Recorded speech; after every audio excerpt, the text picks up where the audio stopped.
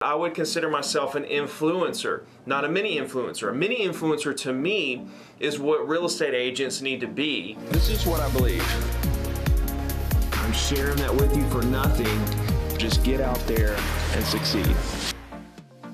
What's up everybody, Ricky Carruth here. Welcome back to my channel. So today I want to give you some extremely practical advice on how to build your business and keep up with the trends of digital and technology moving forward. The world is moving at such a high pace now and we got to keep up with the times. We don't want to get left behind. Okay, so we have to understand where the world is going, where people want to be, how we need to approach people, how where we need to be to build our brand. And that's what I want to talk about. Personal personal branding and the fact that every single one of you should be thinking of yourself in terms of an influencer.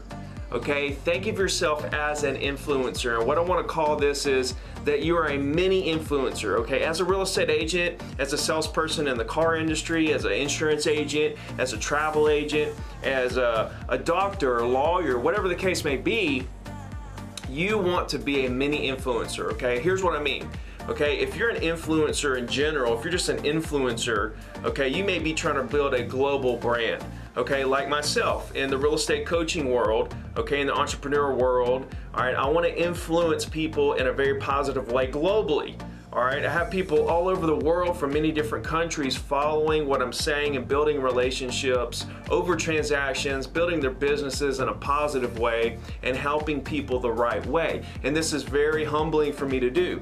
But I would consider myself an influencer, not a mini influencer. A mini influencer to me is what real estate agents need to be.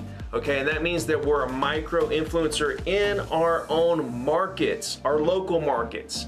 Okay, and what that translates to us is that we don't need to be worried about views, number of views, number of likes, number of followers. Okay, let's take Joe Rosen for example down in Port St. Lucie. He has very little views, but if he goes out to a restaurant, everybody knows who he is. Why? Because it's such a localized market. Okay, you're comparing yourself to big influencers saying, oh, I don't have a thousand likes, I don't have 10,000 views per video, so I must not be getting anywhere close to where I need to be on these social platforms, but that's not the case. Okay, very little views means a whole lot in a concentrated area.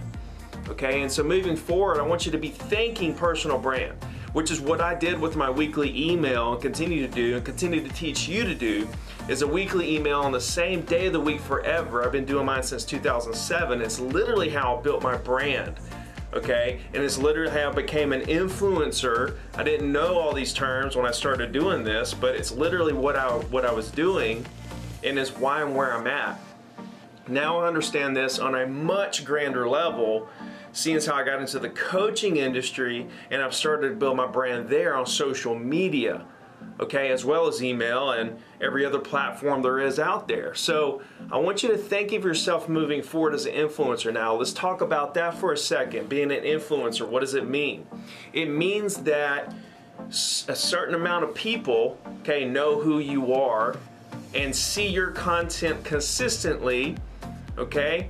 They see original content from you on a consistent basis okay, forever. Okay, that's continuing to build your brand with the people who know you, all right? And then the goal is, is to get more people into your following, your email database, your Instagrams, your Facebook, listening to your podcast, watching your YouTubes, whatever platform you decide, okay, which I believe the best two platforms are emails and text.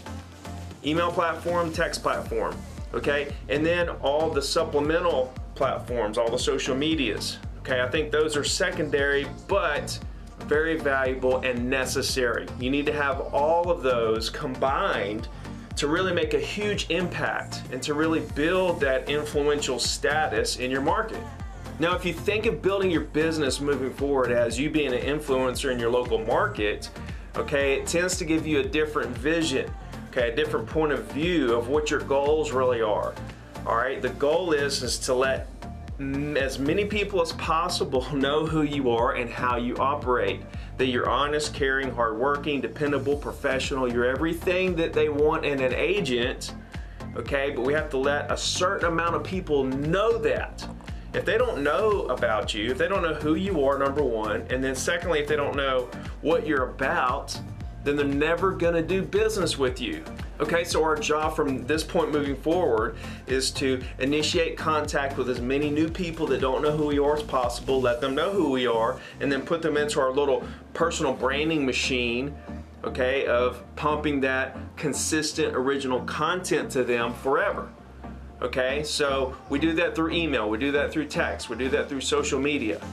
All right, but we need to get them into our personal branding machine all right? And then we want to talk to more people and get them in there. More more more more. As many people as we can possibly get to. We will never get to all the people in our market. Therefore our job and our task at hand is an unlimited abyss. Okay it's an ocean. You can't get to it all and when we think about that on that micro level, that mini influencer level, think about what I'm trying to do with just being a general influencer, okay? To influence people around the world, all right? And when we think about the unlimitedness of just the mini influencer, the micro influencer of just a local market, think about how massive it is to be just a general influencer trying to influence people around the world. It's, it's insanely unlimited and massive. So I hope this gives you a different look, a different point of view of maybe how you need to be building your business or what your objectives really are, or what your goals should be. Okay, and I'm gonna start pumping out more content around being an influencer and the little things that really matter and different little hacks that I find along the way. I'm gonna share those with you. So if you haven't clicked subscribe, do that now. Click that like button. If you have any questions whatsoever, leave it in the comments below. Thank you so much for watching. I'll see you on the next video. Let's go.